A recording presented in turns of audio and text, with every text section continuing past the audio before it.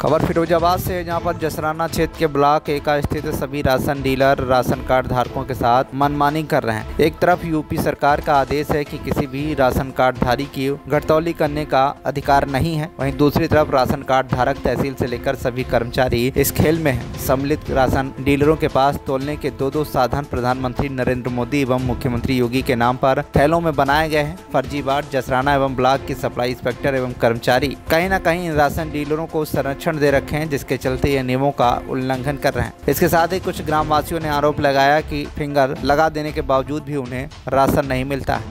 हम्म? तो मिल जाओ यहाँ तो मिल जाओगी। हाँ। लॉकडाउन में आ गए ना तब तक फिर